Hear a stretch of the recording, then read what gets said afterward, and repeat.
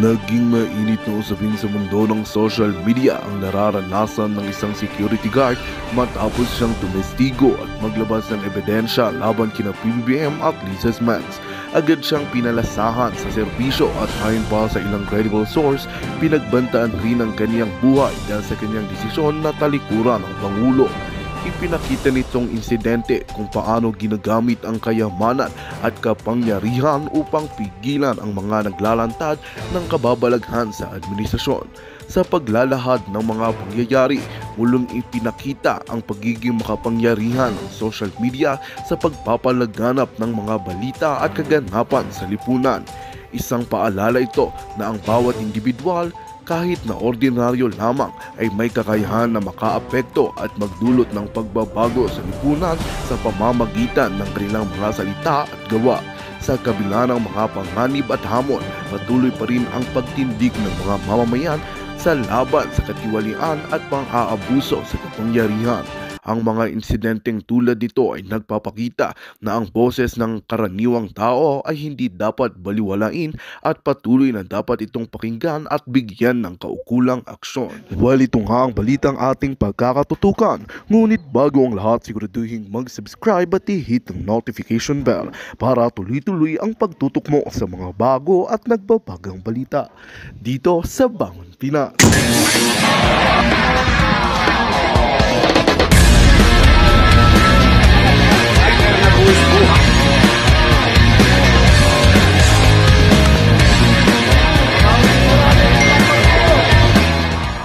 Na nga.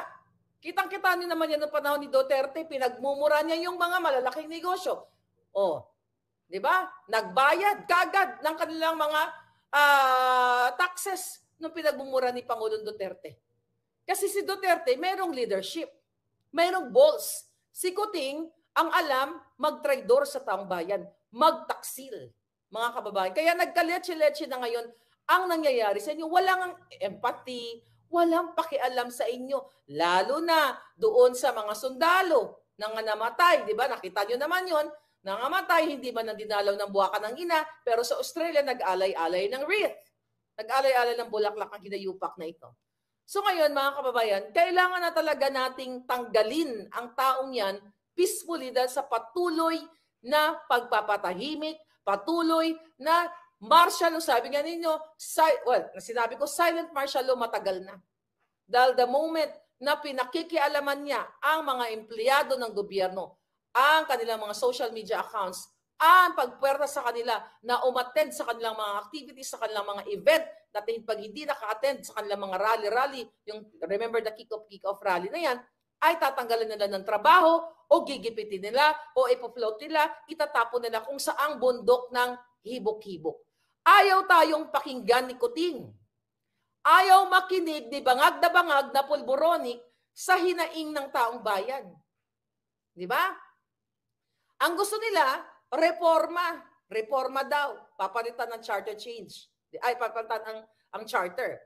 Reforma para sa kanila. Para patuloy ang pagkamkam nila mga palangga. Wala nang integridad ang hayop na to.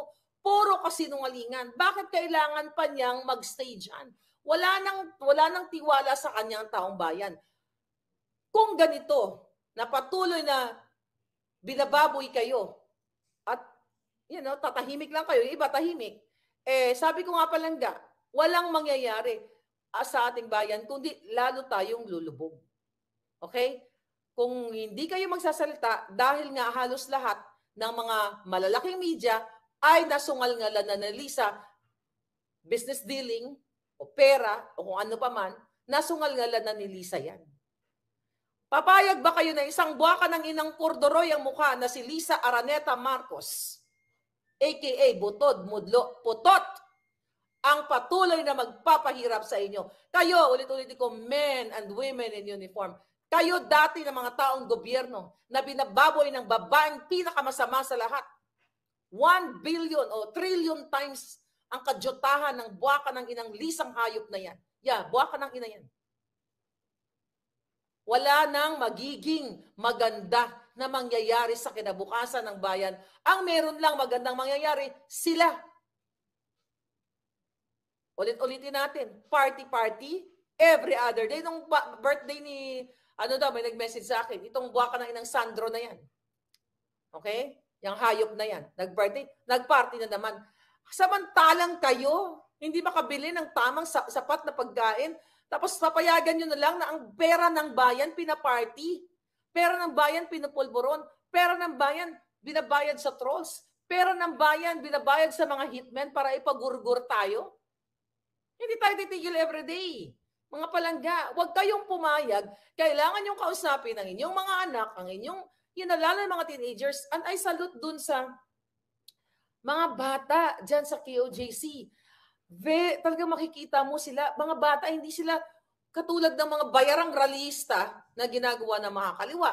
Actually, tinanong ko yung nag-attend ng pagkain. Sabi ko, palangga, sabi ko, ano yung na-notice mo? Sabi ko, be honest, anong na-notice mo doon sa uh, KOJC rally?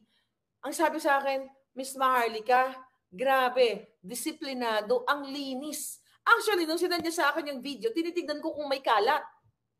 Kasi pag nagra-rally, katulad ng rally ni Kuting, di ba? Not only kay Kuting, halos lahat ng political rally, mapakuting, kahit na sinuportahan natin noon, mapadilawan, mapapinklawan, ang kalat sobra, binababo yung mga daan. Pinatapon lang kung saan yung mga bote ng tubig. O you know, kalat doon sa rally. Sabi sa akin ni Palangga, sabi niya, grabe, disiplinado, wala kang makikita talaga na bulto-bultong kalat. So, ibig sabihin, nagre-reflect yung leadership ni Pastor Kiboloy sa kanila. Ibig sabihin, disiplinado sila.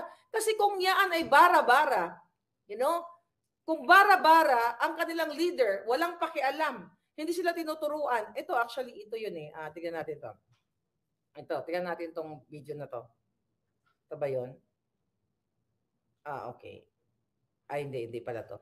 But anyway, nakita nyo naman dyan, mga palangga. Nakita mo, hindi pala wala dito, hindi nakikita. But anyway, tignan nyo na lang sa rally. So, sabi niya sa akin, Miss Marlica, talagang wala kang makikita yung katulad ng ibang rally na nakatin naman siya ng ibang rally na sobrang dami ng kalat. So again, dito nagre-reflect ang leadership ni Pastor Kibuloy sa kanyang mga nasasakupan na marunong sila mag-clean as you go. Kung lahat tayo, sabi ko nga kay Palangga, sabi ko, alam mo, kung, na, kung lahat ng Pilipino marunong, may disiplina, na hindi nagtatapon ng mga basura, hindi sana hindi babarayan sa mga estero, sa mga baha. Hindi sana hindi kikita yung mga buwaka ng inang, mga tirador o mga kawatan sa politiko kasi yung mga este, yung mga pagtatapon ninyo mga basura, 'di ba? Ano ang ginagawa diyan? Binabudgetan niya ng gobyerno, mga dredging project, mga clean chuchu-chuchu, kung ano-ano pa. Millions of billions of pesos ang napupunta diyan na kunyari lilinisin nila. 'Di ba? Tatanggalin ng mga kalat pero ang ipupondo lang diyan, kapiranggot na porsyento, 10%, 20%, 80% nakaw. So kung ganitong klase ng mga kabataan na kahit doon sila ay nagtitipon, libo-libo sila, wala kang makikitang kalat, that's amazing. Sabi ko nga, ibig sabihin ito, mga batang ito, itong mga religious uh, members na ito, disiplinado sila, pinoprotektahan nila yung kanilang what? Yung kanilang, of course, yung kanilang congregation, yung kanilang kingdom, yung kanilang leader, at kanilang mga sarili kasi kasiraan the moment na magkalat yung mga yan The moment na parang mga salaula na walang pakundangan, magre-reflect yan sa kanilang kongregasyon. Bakit mo naman pasasuportahan yung mga ito na eh, ang kakalat nila o itong nagre-reflect sa kanilang leader? See that? Malinis talaga ang paligid ng prayer rally. Sobra ang galing na pamamalakad ng KOJC, sabi ni Palangga. Di ba? Tignan nyo. Okay, tignan nyo yun ang, kung malapit kayo dyan sa itsura. Oo, ang lilinis hindi yung katulad ng uh, panahon. Actually, nadadyan ako sa ano eh, nung, what do you call it? May, May 7. Nung uh, nag-rally kay dyan sa Solar, kay Kuting, di ba? Makikita mo, ang daming kalat. Di ba? Actually, ako, nag-ano ako noon eh, nagsalita ako, sabi ko, ano ba to? Sabi ko, dapat naman nagliligpit tayo. Dapat naman hindi tayo nagkakalat. Doon, after noon, di ba, gabundo ka mga kalat. Kasi walang nag, walang uh, walang leader na nagsasabi na magligpit kayo. Kaya sa mga susunod na mga rally, whether not KOJC at iba pa mga rally ng mga palangga, ito ano total women empowerment, 'di ba? Try your best. Na pag may ininom kayo, may kalat kayo, lagay niyo sa bag ninyo. tapon nyo sa basurahan. Kahit balat ng candy. Kasi napakalaking bagay kung libo-libo tayo. Eh, lahat tayo nagkakalat. Isang balat lang ng candy, ano, isang bote, tatapon natin ng bonggang-bongga. Eh di wala na. Mismo tayo ang dumudumi sa ating kalikasan, dumudumi sa ating bansa. 'Di ba? And I salute you guys. Kaya sabi ko sa kay Palangga, yung volunteer, sabi ko nakakatuwa naman. Tapos sabi ko, ano yung negative na nakita mo? Sabi niya sa akin, ang negative ma'am, yung iba, hindi doon sa rally. Sa ibang, kasi bumili siya ng mga water. Tinatanong niya yung uh, uh, mga tao na ano masasabi? Ano daw masasabi sa nangyayari ngayong rally sa Liwasang Bonifacio? Very generic yung sagot na parang ang sabi sa akin, yung iba parang walang pakialam. Pero ang common denominator, sabi niya sa akin, pero ang common denominator, denominator ma'am, ang sinasabi nila, nabudol sila. Hindi nila akalain na as early as before two years ay ganito na nangyari sa Pilipinas. Sabi ko, okay na yan sa akin na marinig ko. Yan na lang na naramdaman ng taong bayan na nabudol sila at binaboy sila ni Marcos. At even though hindi sila makarating doon dahil syempre kailangan din naman magtrabaho ng mga tao, ibig sabihin, hudyat yan, nagising sila. 'Di ba? Gising sila. Pero dapat ang mas gising yung mga taong nasa gobyerno na nakikita nila etong sigaw ng taong bayan sigaw ng KOJC members na kailangan ibigay nyo sa amin ang hustisya. Hindi nyo pwedeng gipitin si Pastor Kibuloy at litisin ni Ontiveros dyan. Sabi ko nga, yan si Ontiveros, ang jutang gininang yan, alam nyo naman yan. Ba? Anti-Marcos pero ngayon hindi na anti-Marcos. Kasi what? Ang kanyang pakapatid na si Jingay Ontiveros ay nagtatrabaho kaya Boytis at sin, you know, yung connect, nakita nyo, yung connect the dots. Kaya tahimik siya. So sa halip, ayan ay dilawan. Ano ba si Lisa? Super dilawan. Pulahan. So magkakasabot na yung mga putang inan yan para gipitin si Pastor Kiboloy. Gipitin dyan at gusto nilang litisin. Imagine nyo, in aid of legislation, Chucho. Tapos recently, di ba, itong si JV Ejercito, tandaan yung pangalan, binawi niya yung kanyang nag-withdraw siya, di ba? Yung perma niya na dapat hindi liti o hindi uh, i-contempt si Pastor Kibuloy. O ano, JB, magkano? Nabayaran ba, JB? Ha? Ngayon, ito lang sa atin. Mga kababayan, lahat tayo, okay? Lalo na si Pastor Kibuloy, kasi lead, ano siya, religious leader siya eh. Kaya nga tayo may separation of church and power eh. Na hindi dapat pang pagkikialaman o panghimasukan o i-politicize yung mga religious group. Hindi dapat silang targetin. Di ba? Kung meron man siyang pagkakamali, dalhin siya sa proper forum, sa korte, hindi diyan. Na talagang ang target ni Lisa Ahas at ni Marcos Jr. ay ipahiya at ginagamit itong si Ontiveros at ginagamit ang mga jutang ginemes na pwedeng gamitin ni Lisa para i-shutdown, which is na shutdown na nga lang, tanggalan na nga ng prangkisa, si pastor dahil ulit-ulitin natin natatakot si Lisa Ahas Marcos na mag-take over si Inday Sara. At alam ng taong bayan na si Inday Sara, si Pangulong Duterte, si Pastor Kibuloy ay ganito ang kanilang friendship. Ganito ang kanilang support sa isa't isa. The target is Sara and Pangulong Duterte. At kasama siyempre si Pastor. Kaya sabi ko nga, para silang mga ganyan, magka, magkakapatid. Ba? So yan ang ginagawa ni Lisa Smugs. Like ako, di ba? Critical. Ano ginagawa sa akin? Alam niyo naman siguro yun. Pero sa tingin niyo, papatinag ako. Hindi tayo papatinag, mga palangga. Hindi tayo papatinag kahit magtanim pa si Lisa Ahas na mga kaso-kaso sa akin. Thank you sa mga dasal ninyo. Sabi ko nga, isang beses lang ako mabuhay. Kakarayin kong putang inang yan. Kahit sa korte. Para umikot na yung kipay niya. ba? Diba? Gagamit siya ng proxy. Bakit? Di ba? Bakit siya gumagamit ng mga proxy tao? Eh, sino, siya inaakusahan ko. Tangina ka, smuggler ka. O, di ba? Diretso. Yan, lima lang ang sinabi ko na Lisa As Marcos, ikaw ay isang business partner ng smuggler. Hindi yan di umano. Straight from my mouth Ba't tayo kuso ng putang inang yan? Takot siya kasi magagaladgad siya. Di ba? Ah, sabihin ko, tang ina ka. Ah, inarbor nyo Si Amit Chandiramani. O, di ba? Napakabigat niyan kung gusto niya akong kasuhan. Hindi niya gagawin yan. Kasi takot niya makaladkad yung buwaka ng inang yan. Ito si Amit, Amit Chandiramani. O, ito. Ito yung hinuli. Pakita natin uli. Kaibigan ni Mel Robles. Ayan. Tatayuan ko yan. Kasi tinawa, again, tina, you know, pinalaba, pina, nahulihan, nahuli, ayan, may mugshot na, tangina, nahulihan na ng dekalibring matataas na barel, inarbor ni Robles, pinalaya. O yan. Kung, kung, kung si Lisa Ahas Marcos na kordoroy ang pagbumuka at pinakamakawat sa lahat ng makawat at pinakasatanas sa lahat ng satanas. Most powerful ka? Bring it on. Bakit hindi ako kuma bakit hindi ikaw ang kumaso sa akin? bakit kang gumagamit? Duwag ka. Nagtatago ka sa salapi ng bayan. At babawiin namin lahat yan sa tamang panahon. Di ba? Hindi yan uh, libel-libel. Oh, hindi yan, hindi yan di umano, di umano. Right there sa mukha ninyo mga palangga. At pinakita ninyo sa atin kung paano siya associated sa mga yan. Lalo na kay Michael Ma na pinangalan ng smuggler. Hanggang ngayon, walang hearing dyan. Anong ginawa ni Kuting? Kasi nag entrega sa kanila every day, every second, la, bawat segundo. Nag sa kanila. Bawat segundo, bawat hininga nila.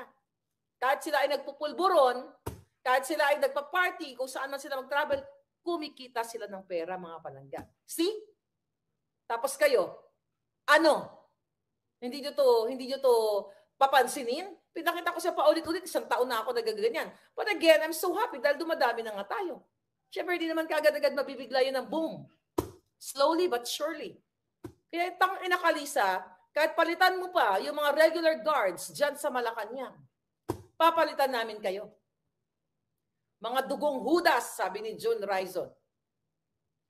Faye Cadasio, thank you palangga. Happy uh, Sunday dyan sa Pilipinas. Sindikato ang gobyerno, sabi ni Watsi. Okay? Sindikato talaga. Man naman ang, ang mga hinayupak na yan, no? Posible na halang ang ka, mga kaluluwa ipinalit sa PSG. Mga bayad ang mga kaluluwa, sabi ni Sanico. Sana, uh, ako naniniwala ako na kahit paano may puso pa yung mga yan. Kaya nga pinapaalam sa inyo, mga kababayan, pinapaalam sa inyo ng mga concerned natin mga nasa uh, nasa Malacanang na yan ang ginagawa nila. Alright? Ito na natin mga juting jazz natin. Alright. Anyway, mga kababayan, yan ang kailangan ninyong malaman. Rebecca Ogata, thank you palangga. Sabi ni Desiree, Mabuti pa si Madam, sobrang tatapang na, kaya ang matatapang na men in uniform. Desiree Dailan, oo nga eh. Pero naniwala ako matatapang din yung mga yan. Kayo, thank you Desiree.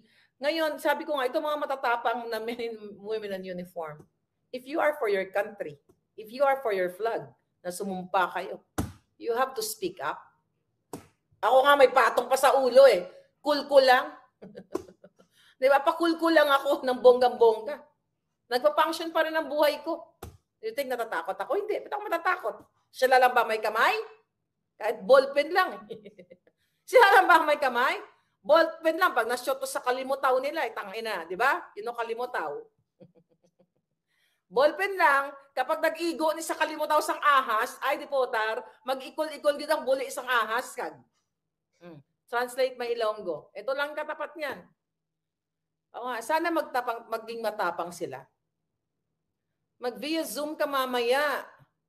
Mag-via Zoom na naman ako. Wala naman ako invitation. Nagsalita na ako. Pero uh, para mas maganda dun sa live, nahirapan talaga ako dun sa salita ako nung nung interview okay. Pero nag, naririnig ko yung boses ko. Hindi ako, ma, parang, you know, nag-echo yung boses ko doon. I hope maging okay yung reception, you know. I hope so. Why not, di ba? Mm. Mga smuggler na mamahagi, na, mamahagi naman kayo kahit isang sakong bigas sabi ni Claire Romulio. Protect Madam Harlika, sabi ni Watsi ng Bisaya. Okay? Huwag daw agad pupunta sa Malacanang, sabi ni Captain Dado. Okay, may ano, may, may well, you know what? Uh, expect, okay? Expect the beautiful things sooner. Okay? Ako, sabi, sabi na nating uh, Kaya, ganito na lang, sabihin na, well, ex, basta expect the beautiful things, mga palangga. Alright? Basta huwag kayong tumigil. Huwag kayong magpasindak. Mga kababayan, kaha, kanina, okay, with my friends and uh, business partners here, kasi I have new business partner, kasi busy, busy, busy yan ang lola ko. Ay, lola mo. Sabi sa akin, ah, hindi ka ba na, ano, na, hindi ka ba na, naatatakot or naapektuhan sa mga nangyayari ginagawa sa panggigipit? Hindi. Sabi ko ganun sa kanya. Kahit bigyan nila ako ng burden. Sabi ko, I think, yun ay adya ng Diyos. Adya ng pagkakataon. Sabi nga ng friend ko, ito lang, no, chika-chika lang, ano mga palangga. Sabi niya, I think you have to go back to school, sabi sa akin. Sabi ko, pa, school, aaral na naman, napapagod na ako. Wala na ako energy sa, ano, sa dami ng, I mean, may energy ako sa Bojack. Sabi niya, bumalik ka sa, sabi niya, mag-aral ka kaya, mag-abugas siya ka para ipagtanggol mo yung sarili mo. sabi sa akin. Eh, pagtanggol mo, para, tangin na, para lalo mo silang durugin. Sabi ko, I don't think so. Nakaya ko pa yan. Sa dami-dami ng mga activities na ginagawa ko sa buhay ko. At syempre, ating uh, pangkabuhayan. Sabi ko na ganun. Sabi niya, hindi, para, para gusto, sabi niya sa akin, gusto ko kasi kitang makita na nilalampaso mo sila. Sabi ko, kaya naman natin silang lampasuin kahit hindi ako obugada. But sabi ko, well, see, you know, you know, I, I, I, I hope I'm rich so I can afford to go to school, di ba? Mahal kasi dito eh. Actually, nag-inquire na ako. But to be honest with you, four years ago, four or five years ago, sumagi sa isip ko na bumalik talaga na mag-low school kasi hindi ko kaya. 25 to 50,000 dollars ang isang taon. Kaya ko ba yun? Wala naman ako ninakaw sa kaban ng bayan. ang, no, hindi, hindi not isang taon. Yung isang semester, 25 to 50,000 dollars. Okay? How can I afford that? Unless kung magnanakaw ako sa kaban ng bayan, makapag-aral ako ng abugasya. Pero sa Pilipinas, medyo mura lang yata. So I can't. But uh, kapag nagtuloy-tuloy ang aking new ven ano, new venture na aking bagong bongga-bongga negosyo, why not?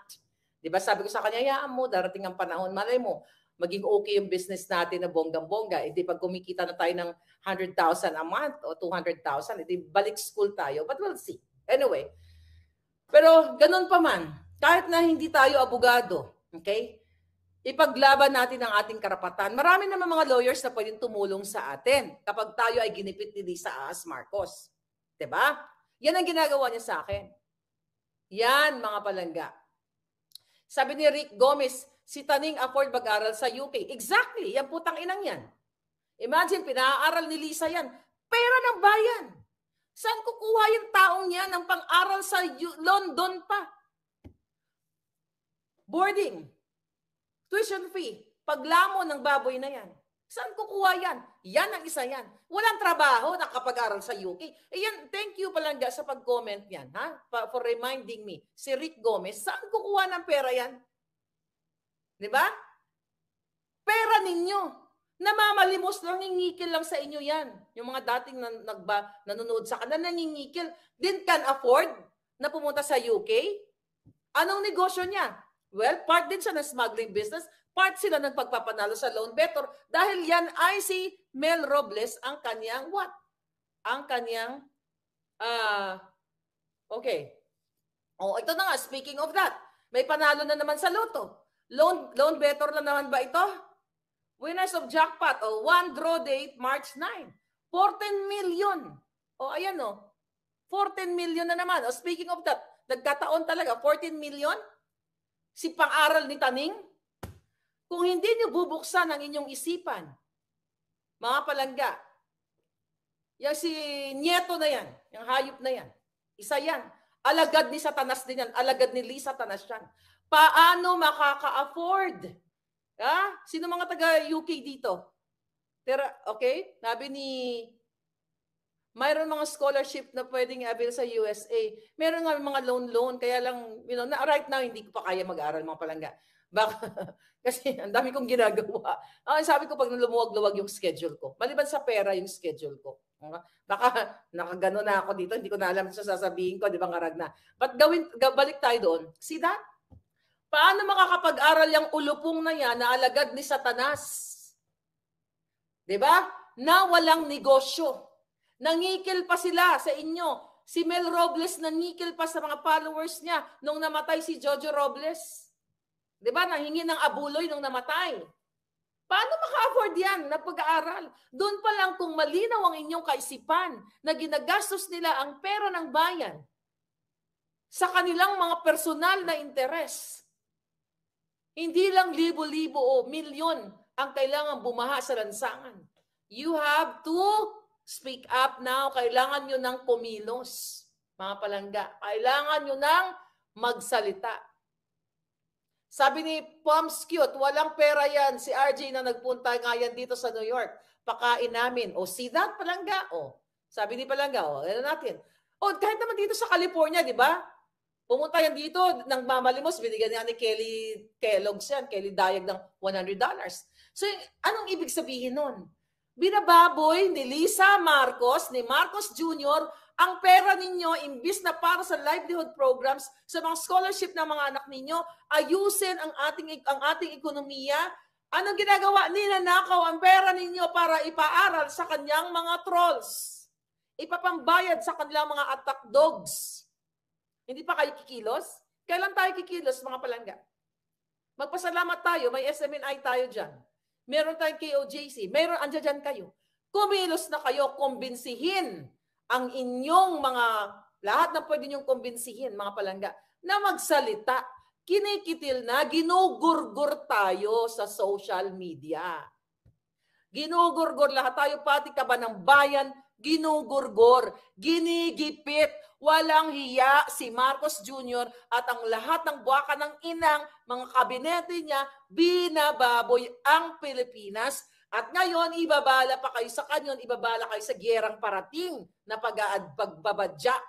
Dahil sa mga ginagawa ng hayop na to, wala silang pagmamahal sa Pilipino. Meron silang pagmamahal sa pera ng Pilipino. Meron silang pagmamahal sa kanilang mga kasabwat na dorogista na mga mafia at lahat ng mga kababayan. See that? I can't afford na magpatuloy pa ako magsalita. Okay? after June. I cannot afford siguro. Well, I'm not I'm not saying pero ang ibig ko sabihin, wag niyo na sana papausin pa yung bunganga ko. Wag niyo na papausin pa yung litid ko. Okay? Wag na. Tapusin na natin to. Kailangan na nating tapusin. Hindi magre-resign yan. Di ba panawagan doon ay resign. Tapusin na natin to. Pedro Roque, thank you. Kailangan na nating patahimikin ang bayan natin dahil sobra na patahimikin. Ibig sabihin, patahimikin sa mga pang-aapi ng mga kasabwat ni Lisa Marcos na dorogista, polboronista, lahat ng pagnanakaw sa kaban ng bayan, kitang-kita nyo naman. Nagpa-party, social climbing ang hayop na yan. By the way, speaking of social climbing, yung friend ko sa na, na taga-Australia, shout out sa iyo palangga. Huwag natin pangalanan, baka gorgorin na nandoon sa summit-summit na yon nung pumunta si Kuting. Ang buwaka ng inang Lisa daw, parang sabik na sabik sa atensyon ng tao. Parang sa uhaw na uhaw sa kasikatan. Pinapasikat ko nga siya eh. Nauhaw ka pa, Lisa? Parang ahas na uhaw. Tuklawin kita dyan eh. Tuklawin ka ng puting ahas. Nauhaw ka pang hayop ka. Hindi pa sapat ang limelight na binibigay namin sa'yo. Yung pagiging smuggler mo. Pagiging polboronic ng asawa mo, lahat kayong mga hayop kayo. Hindi pa? Doon, enjoy, enjoy. Kaya isa kang basura. Yung hayop na Lisa na yan, isang basurang what? Nikotina. Walang kwentang nilalang sa mundo. Sabi ko, kahit mag-English-English yan, arte-arte yan, pangbangag lang yung English niya.